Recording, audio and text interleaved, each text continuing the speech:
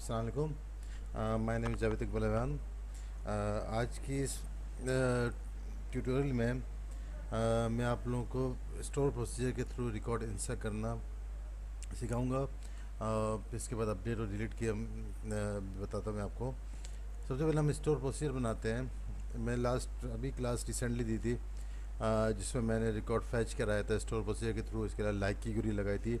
Store procedure के through हम insert कर करेंगे।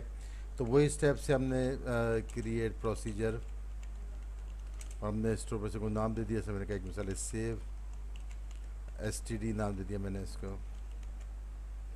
पैरामीटर बनाने लाजमी कंपलसरी है पैरामीटर लाजमी बनाने पड़ते हैं जिसको हम इंसर्ट की क्यूरी में इस्तेमाल करते हैं। आ, तो जैसे मेरे पास ये टी बी स्टूडेंट के अंदर टेबल है। आठ नंबर मैंने ऑटो इंक्रीमेंट रखा हुआ है ये मुझे देने की ज़रूरत नहीं है रिकॉर्ड सेव कराने के लिए। स्टूडेंट का नाम एनवर चार है, फादर नेम देना चाहते हैं जहाँ मैंने नल अलाउ किया हुआ जिनको अगर मैं स्टोर प्रोसीजर में नहीं भी देना चाहूँ इंसर्ट की में ना देना चाहें तो हम नहीं दे सकते तो छोड़ भी सकते हैं। लेकिन जिनको हमने नल अलाउ नहीं किया, उसको लाजमन हमें इंसर्ट की क्यूरी के अंदर इसको जो है वो शो करना ज़रूरी है। तो जैसे मैंने एक वेरिएबल ले लिया एन के नाम से, मैं उसकी टाइप डेटा टाइप एन बर चार दे देता हूँ, क्योंकि ये वही टाइप है जो उसको हमने टेबल के कॉलम में भी दी हुई है, और फिर तो मैंने फोर्टी कैरेक्टर रख दिए। फिर एक और वेरिएबल ले लिया मैंने एफ़ एन के नाम से, और इसको भी मैं जो है वो इसकी टाइप भी अनवर चार ही अनवर चार ही दूँगा मैं इसको। इसी तरीके से एड्रेस के लिए मैंने ए डी के नाम से वेरिएबल ले लिया, और इसकी भी टाइप मैं अनवर चार ही जो मैं दी हुई है, वही रखूँगा यहाँ पे। और वहाँ मैंने करेक्टर इसके लिए पास किए मैं फिफ्टी लेकिन उसके अंदर ज़्यादा करेक्टर होने चाहिए तो खैर मैं वहाँ भी चेंज कर लूँगा, या मैं इसको हंड्रेड करेक्टर दे देता हूँ। अच्छा इसी तरीके से हम डेट ऑफ़ बर्थ है हमारे पास। डेट ऑफ़ बर्थ के लिए डेट की उसकी टाइप है। तो मैं उसके लिए भी वेरिएबल ले लेता हूँ एट द रेट डी मैंने दे दिया और मैंने उसको जो है वो, उसकी टाइप मैंने डेट पास कर दी। और डेट ऑफ़ एडमिशन मैंने यहाँ पे नल अलाउ भी किया हुआ है। इसके अलावा मैंने यहाँ पे गेट डेट का मेथड भी लगाया हुआ है कि अगर मैं उसको नल छोड़ दूँगा तो ऑटोमेटिकली वो डेट ऑफ़ एडमिशन ले लेगा। सिस्टम से जो करंट डेट होगी वो उसी को ले लेगा। तो मैं उसी को रहने देता हूँ हम उससे उसी, को इस्तेमाल कर लेते हैं। तो मैं यहाँ पर उसको मैंशन नहीं करता। फिर इसके बाद आपने एज लिखना है फिर क्यूरी लगा देनी है आपने का insert into T B L student और फिर हमने कॉलम के नाम दे दिया हमने कहा एस नेम और हमने इसी तरीके दूसरी फ़ील्ड है एस एफ़ नेम फिर एस एड्रेस है और इसी तरीके से D O B D O B की मैंने फ़ील्ड पे ऐसे फिर हम वैल्यूज़ का कीवर्ड लगाते हैं।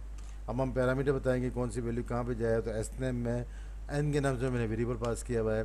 जो पैरामीटर है उसको जो मैं वैल्यू फॉर्म से दूँगा तो वो वैल्यू जो है वो एस एन के वेरिएबल में असाइन हो जाएगी। इसी तरीके से फादर नेम में एस एफ़ नेम में, मैं एफ़ एन के नाम से जो वेरिएबल है, उसको वैल्यू असाइन करूँगा तो वो वहाँ चली जाए। और एड्रेस के लिए मैंने जो ए डी के नाम से बनाया वेरिएबल वो मैं असाइन कर देंगे। और डेट के लिए हमने डी के नाम से बनाया था तो हमने कहा at the rate D pass कर दिया। अब इन पैरामीटर्स को वैल्यू मुझे वहाँ से देनी पड़ेगी फॉर्म से तो मैं इसको पहले तो इसको एग्जीक्यूट कराता हूँ। एग्जीक्यूट करने के बाद अब हमने इंसर्ट की क्यूरी लगानी है इस स्टोर प्रोसीजर को यूज़ करते हुए। पहले तो हम यहाँ पे डिज़ाइन बना लेते हैं। हमने लेबल लिया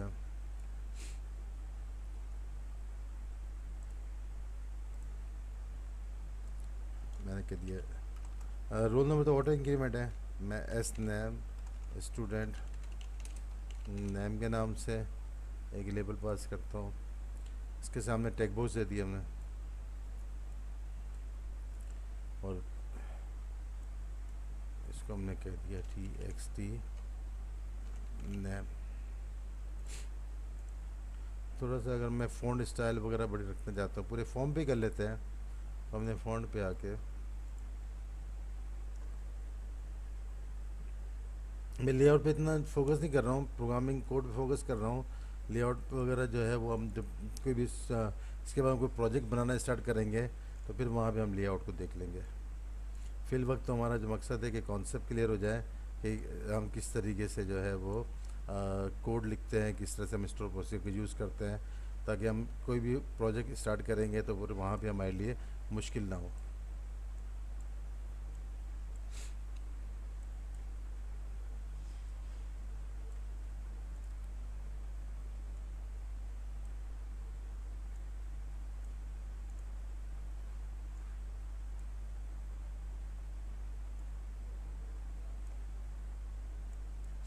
ठीक है जी हमने कहा, स्टूडेंट नेम और इसी तरीके से मैंने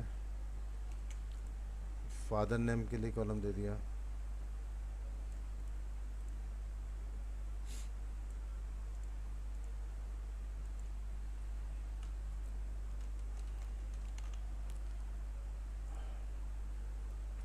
फिर इस तरह से हमने डेट, एड्रेस के लिए दे दें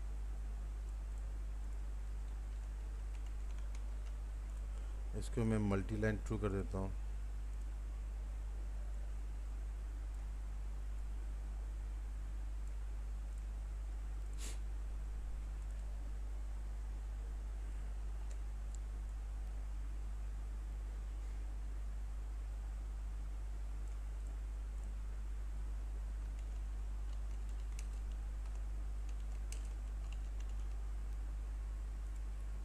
डेट ऑफ़ बर्थ के लिए मैं यहाँ पे डेट टाइम पिकर दे देता हूँ। अब डेट टाइम पिकर में भी चूँकि हमने वहाँ पे जो कॉलम की टाइप रखी है, वो डेट रखी हुई है और यहाँ पे जो डेट आ रही है, वो आ रही है लॉन्ग फॉर्मेट में और लॉन्ग फॉर्मेट जब उसमें हम इंसर्ट करेंगे तो एरर जनरेट हो जाएगा क्योंकि वहाँ पे उसकी टाइप जो है वो हमने जो है वो डेट रखी हुई यहाँ अगर मैं उसके लिए एनवर चार रख लेता हूँ तो फिर तो लॉन्ग फॉर्मेट में चली जाएगी, लेकिन मैं प्योर नुमेरिक वैल्यू देना चाहता हूँ। तो फिर आप यहाँ पर इसको शॉर्ट कर देंगे। जब शॉर्ट करेंगे तो नुमेरिक आ जाएगी। ये वो वैल्यू होगी जो कि हम उसके अंदर डेट की डेटा टाइप के अंदर हम जो है वो सेव करा सकते हैं। क्योंकि हमने यहाँ पे इसकी जो टाइप रखी है, वो डेट की रखी है। और डेट के लिए हमें लाजमी पता है नुमेरिक में वैल्यू चाहिए होती है। ठीक है जी? फादर नेम भी मैं उस साइड पर ले जाता हूँ, अगर ऐसा है तो। या चले बटन था हमें सेव के लिए बटन दे देता हूँ।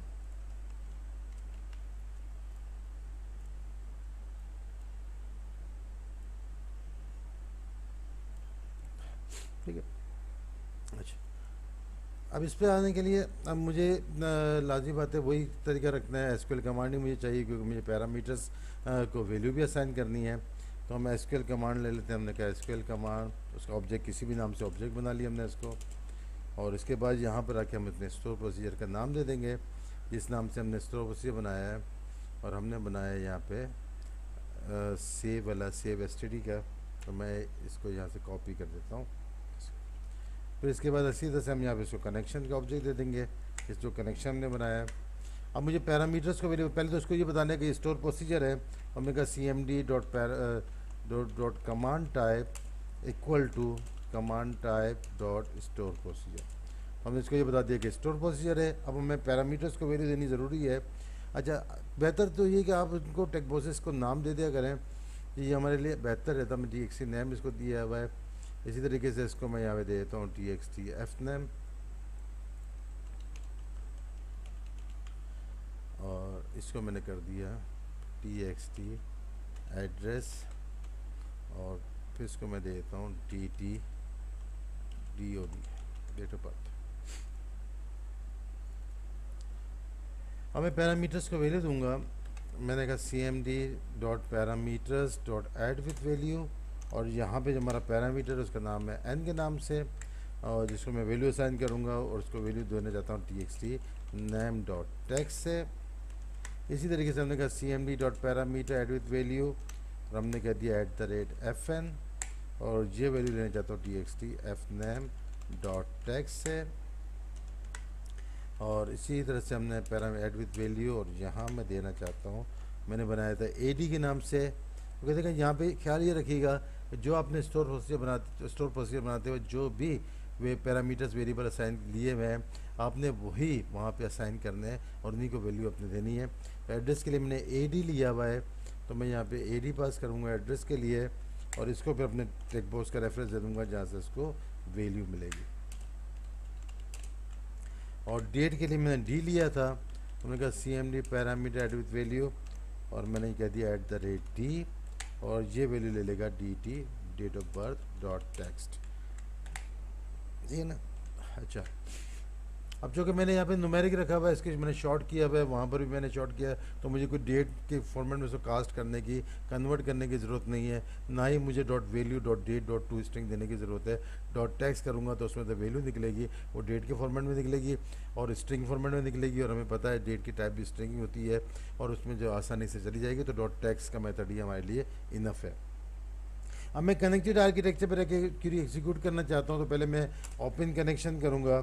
और सीएमडी का मेथड होता है क्यूरी को एग्जीक्यूट करने के लिए dot execute non query execute मैं शुरू में बता चुका हूँ आपको, जब मैं इंट्रोडक्शन दिया था एडियो का, कि एग्जीक्यूट नॉन क्यूरी का method single record insert update और डिलीट ये तीनों मकसद पर्पज़ के लिए सिंगल रिकॉर्ड इंसर्ट करना अपडेट करना डिलीट करने के लिए हम एग्जीक्यूट नॉन क्यूरी का मेथड यूज़ करते हैं।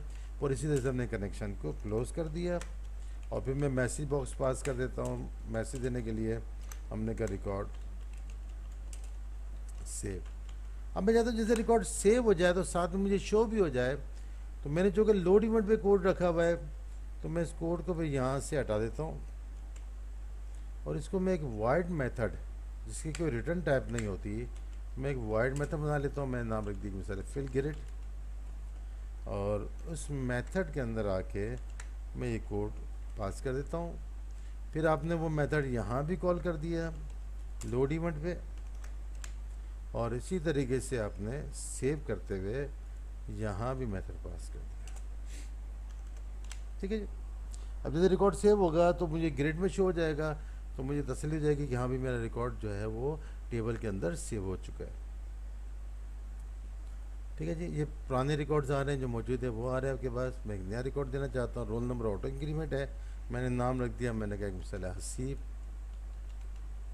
फादर ने, मैंने कहा, अब्दुल रहमान, एड्रेस हमने करा दिया, क्लिफ्टन, कराची। ठीक है जी। डेट ऑफ़ बर्थ हम दे देते हैं। कोई भी रख लेते हैं, पुरानी कोई डेट रख लेते हैं। मैं 1998 की देता हूँ मैंने उसको सेव कर दिया 97 की। रिकॉर्ड सेव हो गया। अब मैं यहाँ पर आके देखता हूँ तो मेरे पास नया रिकॉर्ड ऐड हो चुका है। अब देखिए डेट ऑफ़ एडमिशन मैंने डायरेक्टली जो है वो बनाते हुए टेबल बनाते हुए उसी में, देखिए मैं आपको दिखाता हूँ।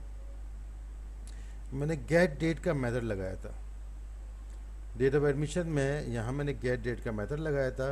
तो मैंने डेट ऑफ़ एडमिशन मैंने नहीं दी, बल्कि सिस्टम से ले ली। तो सिस्टम से डेट ऑफ़ एडमिशन आके यहाँ पे पास हो गई। डेट ऑफ़ बर्थ मैंने असाइन कर दी है और ये बाकी रिकॉर्ड भी मैंने असाइन कर दी, ये रिकॉर्ड आपका सारा सेव हो गया। इसी तरीके से अगर मैं अपडेट करना चाहता हूँ तो स्टोर प्रोसीजर अपडेट का बन जाएगा डिलीट के लिए डिलीट बन जाएगा।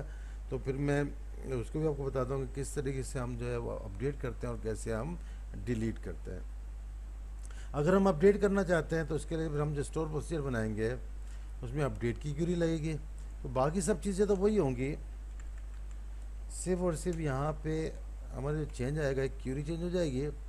नाम मुझे चेंज करना पड़ेगा इसका। मैंने कहा, मैं नाम रखना चाहता हूँ अपडेट एस और इन सबको मैं अपडेट करना चाहता हूँ। और साथ में मैं एक और वेरिएबल बनाता हूँ आर के नाम से। उसके टाइम मैं इंट रखूँगा, जो मैं बताऊँगा कि, जो कि यूनिक वैल्यू है। कि किसके हिसाब से अपडेट करें तो एक आपके पास रोल नंबर जो है वो यूनिक है, उसके हिसाब से अपडेट करें। तो यहाँ मैंने क्यूरी चेंज करी हम हमने कहा update T B L student और फिर इसके बाद हमने क्यूरी चेंज करके हमने कहा सेट और एस नेम कॉलम का नाम है। इसको मैं मैच कर दूँगा एट द रेट एन से। F name equal to at the rate F N से इक्वल टू एन से और इसी तरह एड्रेस को जो वैल्यू आएगी, वो आ जाएगी parameter at the rate A D से और डी ओ बी को वैल्यू आ जाएगी एट द रेट डी से ठीक है जी? फिर इसके साथ ही हम यहाँ पे लगाएँगे वेयर का क्लाउस हमने कहा उसके हिसाब से करो where R number equal to at the rate R ठीक है जी? तो अपडेट क्यूरी हमने यहाँ पास कर दी है और इसको मैं एग्जीक्यूट कर देता हूँ। तो ये एग्जीक्यूट हो गया। अब इसका मतलब है कि अपडेट करना चाहता हूँ तो ये स्टोर पर चलेगा। इसका नाम मैंने रखा अपडेट एसटीडी तो अब अपडेट के लिए मुझे रोल नंबर भी चाहिए। अच्छा अब यहाँ देखिए दो तीन तरीके अगर एक तो ये कि मैं डायरेक्टली ग्रेड से भी ले सकता हूँ। मैं आपको दिखाता हूँ पहले। पहले तो मैं यहाँ से रोल नंबर के लिए कॉलम लेता हूँ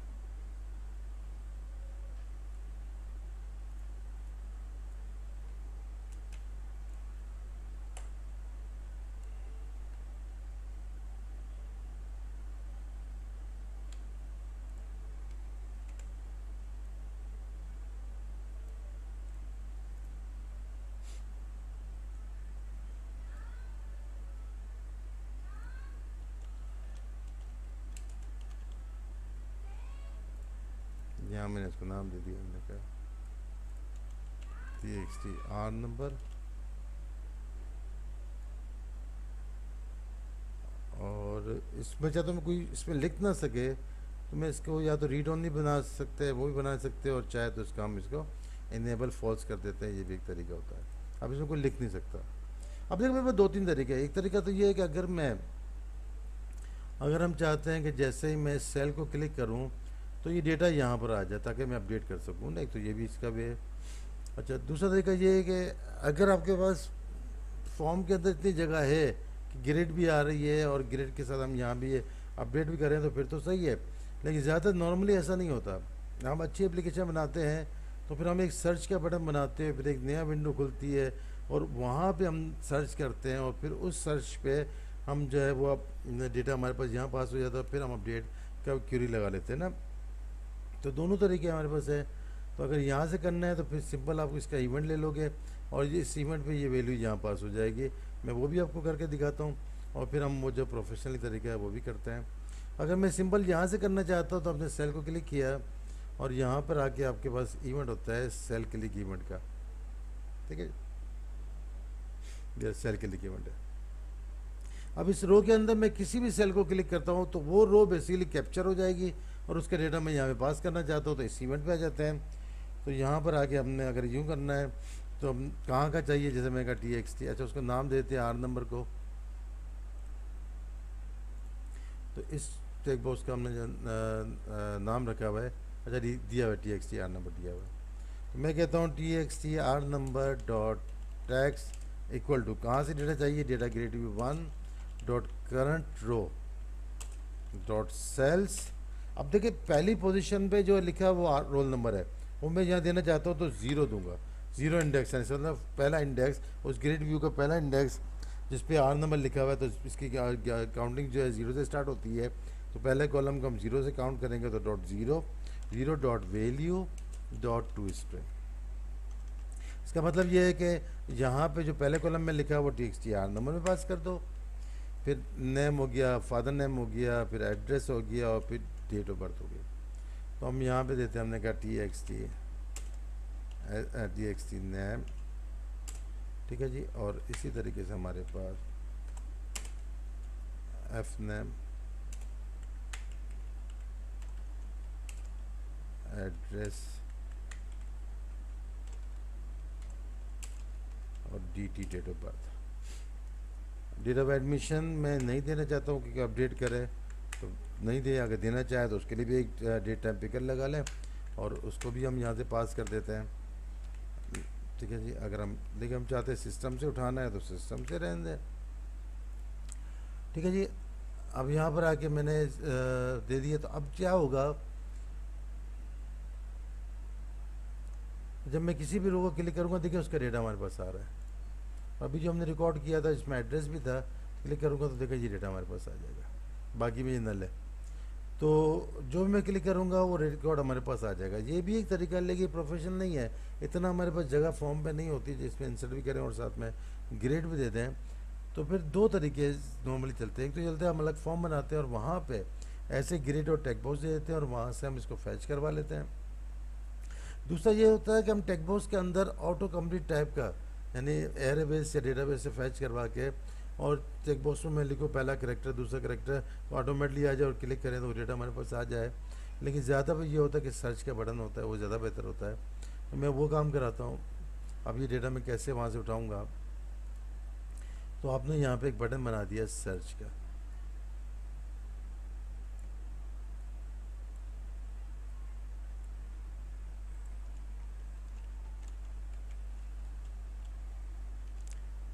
ठीक है जी?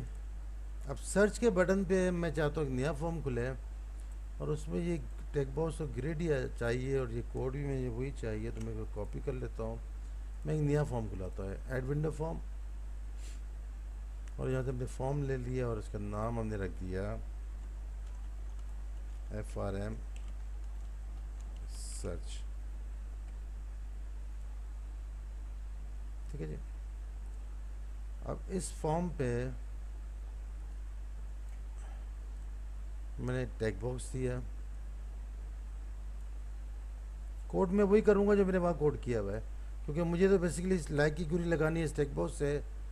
और यहाँ पे आके मैंने डेटा ग्रेड व्यू ले लिया। तो कोड मैंने अभी आपके सामने कॉपी किया था वहाँ से। जो मैंने उस फॉर्म पे किया हुआ था कोड तो मेरे लिए वही कोड काफ़ी है। और कुछ नया कोड करने की ज़रूरत नहीं है। बाकी लाइब्रेरी वगैरह में कॉल करनी पड़ेगी। स्टेक बॉक्स के इवेंट पे आ गया। और मैंने यहाँ पे पास कर दिया। ठीक है जी, अब यहाँ पे जो है वो हम लाइब्रेरी कॉल कर लेते हैं। ठीक है जी, और फिर हमें यहाँ पे कनेक्शन के लिए चाहिए। तो मैंने जो कनेक्शन स्ट्रिंग यहाँ पे कॉल की थी एप्लीकेशन कॉन्फ्लिक फ़ाइल वाली, वो मैं यहाँ पे पास कर देता हूँ। ठीक है? तो फिर लाइब्रेरी देते हैं। ठीक है। अच्छा। अब क्या होगा यहाँ पे मैंने टेक बॉक्स से मैच करवा दिया है। अगर मैं चाहता हूँ जैसे फॉर्म खुले तो सारा डेटा भी लेकर आ जाए तो फिर वो भी हमारे पास कोड तो हुआ हुआ है। ये वाला कोड वाइड मेथड वाला कोड यही मैं उठा लेता हूँ। और उठा के जो है उस, उसके एफ़ सर्च के लोड के लोड इवेंट पे भी डाल देता हूँ कि लोड हो तो ये आ जाए। और सर्च करें लाइक की क्रियल जो टेकबॉक्स से सर्च करें तो वो डेटा आ जाए। अब हम यहाँ पर आके अपने फॉर्म पे सर्च के बटन पे आ गया। अब सर्च के बटन में मैं वो वाला फॉर्म खुलवाऊँगा। हमने कहा F R M search object बनाया इसका। ठीक है जी? अच्छा अब जब मैं चाहता हूँ तो मैं इसको शो कर कर सकता हूँ। तो शो डायलॉग करके मैं कॉल करूँगा ताकि डायलॉग बॉक्स की शक्ल में आएगा। दूसरी बात इससे एडवांटेज ये होगा कि मैं तो उसका इवेंट चाहता हूँ, मैं उसके इवेंट से डेटा उठवाना चाहता हूँ। तो जैसे मैं शो डायलॉग करूँगा तो जैसे मैं उसे डेटा लेके उसको मैं वहाँ से जो है वो क्लोज़ करूँगा तो ऑटोमेटिकली वो क्लोज़ हो जाएगा और डेटा यहाँ पर आ जाएगा। तो फिर इसके बाद आपने क्या करना है? ये जो कोड मैंने यहाँ किया था, अब आपने इसके सेल के लिए क्या इवेंट लेना है? अब देखिए, पहले तो मैं दिखाता हूँ आपको। जहाँ रन करेंगे और मैं सर्च का बटन प्रेस करूँगा तो मेरे पास वो ये आ जाएगा। देखिए, ये भी आ रहा है लाइक क्यूरी के साथ भी आ रहा है। ठीक है जी? अब मैं चाहता हूँ जैसे मैं क्लिक करूँ तो ये फॉर्म हट जाए और वो डेटा फिर मेरे पास यहाँ पर आ जाए। ठीक है जी? अब मैं, यहाँ पे मुझे दो काम करने पड़ेंगे। एक तो मुझे स्टेट एक क्लास बनानी पड़ेगी और उसमें स्टेटिक वेरिएबल रखने पड़ेंगे। स्टेटिक वेरिएबल इसलिए रखेंगे क्योंकि नॉन स्टेटिक वेरिएबल जैसे ही वो फॉर्म बंद होगा तो वो उसकी वैल्यू को गार्बेज कर देगा। कंप्यूटर उसकी वैल्यू गार्बेज कर देगा, लेकिन स्टेटिक को कंप्यूटर गार्बेज नहीं करेगा जब तक एप्लीकेशन बंद नहीं होती। तो इसलिए हमें स्टेटिक वेरिएबल रखने पड़ेंगे क्लास के अंदर। दूसरा, पहले क्लास ले लेते हैं। हमने कहा ऐड क्लास मैं क्लास वन के नाम से रहने देता हूँ क्लास को। और इस क्लास के अंदर मुझे स्टैटिक वेरिएबल बनाता हूँ। मैंने कहा पब्लिक स्ट्रिंग ही ले लेते हैं, हमें तो वैल्यू पास करनी है। मैंने कहा आर के नाम से बना लेता हूँ स्टैटिक बनाएँगे। ठीक है जी? फिर मैंने कहा पब्लिक स्टैटिक स्ट्रिंग और मैं एन के नाम से बना लेता हूँ। अच्छा इसमें भी दो तीन तरीके हैं। अगर मैं चाहता हूँ कि एक ही वैल्यू दे दूँ तो वो भी एक तरीका है। और अगर सारे स्टैटिक बना के सारे वैल्यू करना चाहें तो वो भी कर सकते हैं। अगर एक ही वैल्यू में देता हूँ और मैं टेक बॉक्स के इवेंट में देता हूँ तो फिर मुझे वहाँ पे डेटाबेस से सारा डेटा उठाना पड़ेगा। तो पहले ये कर देता हूँ, फिर बाद में किसी काम मौके पे मैं ये कर लूँगा कि मैं उसके लिए अलग अलग कर लूँगा। और फिर डेटाबेस से उठा लेंगे एक वैल्यू देने के बाद। तो मैं आर एन इसी तरह मैंने कहा एफ़ एन और डेट के लिए भी मैं जो है वो डी ले लेता हूँ। ये चार डेटा मुझे चाहिए और एड्रेस भी है। ठीक है ना, और मैं एड्रेस बना देता हूँ।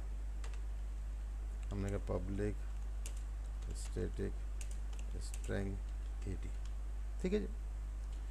अब हम इसको वैल्यू असाइन करेंगे फॉर्म से। मैं इसके इवेंट पे आता हूँ सेल के लिए इवेंट लेता हूँ।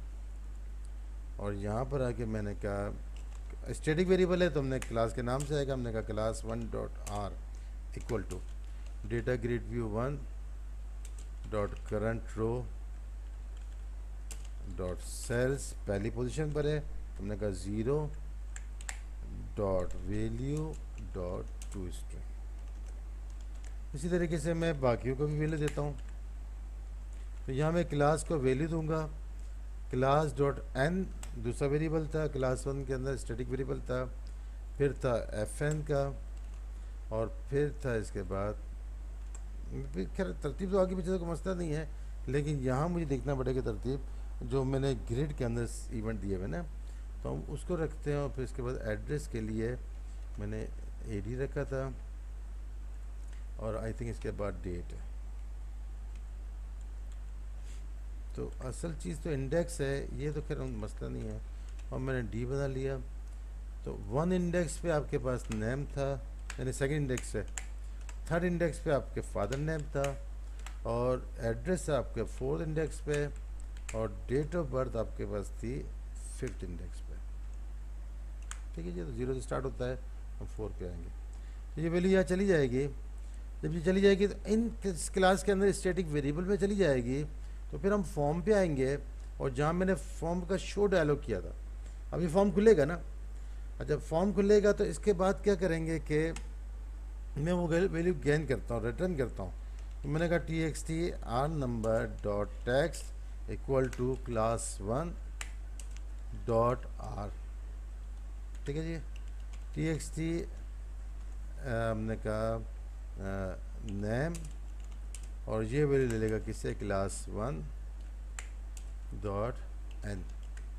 फिर हम कहते हैं T X T F name. ये भी ले लेगा किससे? Class one dot F N. फिर हमने कहा टी एक्स टी एड्रेस। ये भी ले लेगा किससे? Class one dot A D से। और T D T, date of birth. ये भी ले लेगा किससे? क्लास वन डॉट डी से। ठीक है जी? अब मैं करता हूँ यहाँ पे, देखते हैं क्या पोजिशन होती है। मैंने सर्च के बटन प्रेस किया, ये फॉर्म आ गया। अब चाहे मैं लाइक करता हूँ कुछ भी करता हूँ, जैसे मैं क्लिक कर देता हूँ तो ये अब ये वैल्यू आ रही है, अब मैं इसको यहाँ से अगर बंद करता हूँ तो देखिए ये वैल्यू आपके पास आ रही है। ठीक है जी? अब मैं चाहता हूँ मैं जैसे क्लिक करूँ, वो वैल्यू भी चली जाए ना। तो फिर अब आपने क्या करना है ग्रेट चीज़ पर मिलती है एफ़ सर्च पे।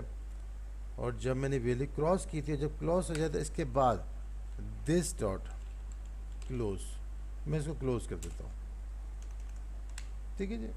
अब ये फॉर्म बंद हो जाएगा। अब मैंने यहाँ पे सर्च का बटन प्रेस किया। अब देखिए मैं ये वाला डेटा ले लेता हूँ, अस्सी वाला, जिसमें सब कुछ मौजूद था। जैसे मैं क्लिक कर देता हूँ, वो फॉर्म हट गया और वो सारा डेटा आपके पास यहाँ पर आ गया। ठीक है जी? मैं कोई और डेटा लेता हूँ।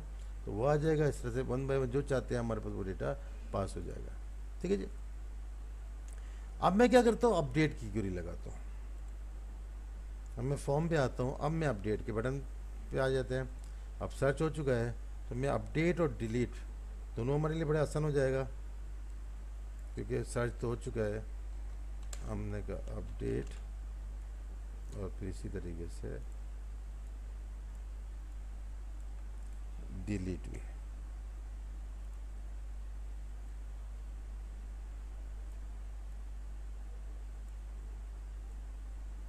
जैसे फ़ौरन की बनी हो तो फिर हम डिलीट नहीं करते, लेकिन चूँकि हमने फ़ौरन की नहीं बनाई है तो फिर हम प्राइमरी की नहीं बनाई, अब तक हम वैसे कर रहे हैं। तो मैं अपडेट के बटन पे आ जाता हूँ, और जो मैंने यहाँ पे काम किया था एसक्यूएल कमांड वाला सेव वाला, मैं वही कॉपी कर दूँगा। और अपडेट के लिए जो मैंने पैरामीटर बनाया था, जो मेथड नाम दिया था, वो ये दिया था अपडेट एस वो मैं यहाँ पे आके चेंज कर दूँगा सेव की जगह अपडेट आ जाएगा। और बाकी सब चीज़ें वही आएँगी। एक चीज़ का मुझे इजाफा करना पड़ेगा आर के लिए। हमने कहा C M D dot parameters dot add with value और मैंने कह दिया एट द रेट आर और ये वैल्यू ले लेगा किससे? T X T R number dot text से। ठीक है जी? मैसेज चेंज करना चाहो तो मैसेज चेंज करा लो। हमने मैसेज चेंज कर लेते हैं। हमने कहा रिकॉर्ड अपडेट अच्छा ये भी हमने करना चाहिए उसमें कि कोई डायरेक्टली अपडेट का बटन प्रेस ना करे। जब तक ये नल ना हो नल हो तो ना करे ना। अगर कोई सर्च करता है तो सर्च किया और जब ये खाली आ गया तो फिर अपडेट में कम से कम रोल नंबर ज़रूर लिखा हो जिसको वो अपडेट करना चाहता है ना। तो फिर हम कंडीशन लगा लेते हैं। हमने कहा if T X T R number dot text not equal to M है तो खाली नहीं होता है तो देर इस ब्लॉक में आना। ठीक है जी? और अदरवाइज़ एक मैसेज पास कर देंगे हम इसको। हमने कहा else message box dot show हमने कहा first search record for update तो पहले सर्च करो अपडेट जिसको करना चाहते हो। तो अगर अब यहाँ देखिए कोई अपडेट का बटन प्रेस कर देगा तो कोई मसला नहीं है। यहाँ पे डेटा नहीं है, खाली बड़ा है तो ये मैसेज आ गया। अगर वो सर्च करता है और जैसे कोई भी डेटा लेता है, जैसे फॉर एग्ज़ाम्पल ये डेटा लेता है, असद का तो ये असद का रिकॉर्ड यहाँ पर आ गया। अच्छा इसकी डेट ऑफ़ बर्थ नहीं थी तो यहाँ पे जो है आज की डेट है, वो आ रही है। अब अगर वो यहाँ से आके कोई भी डेट ऑफ़ बर्थ ले लेता है, अब ये डेट दे दी इसने, और यहाँ एड्रेस दे दिया हमने, क्या मिसाल है पंजाब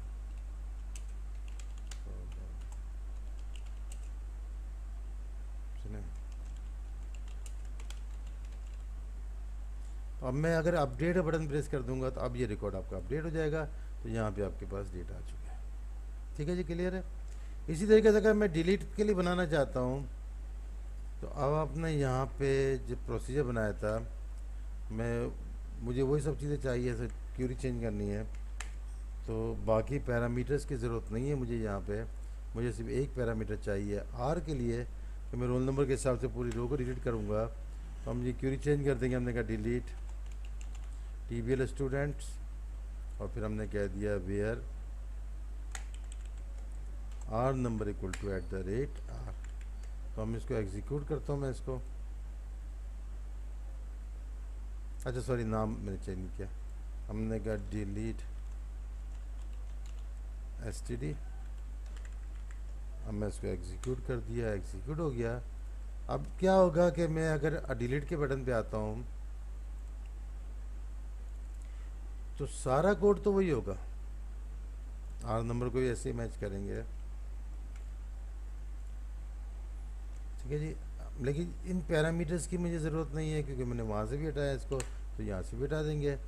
और यहाँ मैंने जो नाम रखा था इसका delete S T D stop उसी का हमने कहा डिलीट एस टी डी वो मैं यहाँ पास कर दूँगा। और रिकॉर्ड डिलीटेड मैसेज भी चेंज कर लेते हैं। ठीक है जी। अब क्या होगा अगर मैं किसी का भी डेटा पहले तो हम सर्च करेंगे, अगर सर्च करेंगे अब मुझे कोई भी रिकॉर्ड उड़ाना है, जैसे फॉर एग्जांपल मुझे यहाँ पे एहसान का रिकॉर्ड उड़ाना है तो मैंने यहाँ पे कर दिया और डिलीट का बटन प्रेस कर दिया तो ये आपके पास रिकॉर्ड डिलीट हो जाएगा। तो एहसान का रिकॉर्ड यहाँ से हमारे पास रिकॉर्ड नंबर आठ जो था, वो जा चुका है। साथ में इसको भी खाली करना चाहे, इसको भी खाली कर दो। ठीक है जी क्लियर है? तो इस तरीके से हम स्टोर प्रोजेक्ट के थ्रू इंस्टेंट अपडेट डिलीट करते हैं तो नेक्स्ट फिर मैं आपको जो है वो लॉगिन वाला काम कराऊँगा, जिसमें हम लॉगिन करेंगे। और फिर इस पर आगे फर्दर काम करेंगे। ठीक है जी। अल्लाह हाफिज़।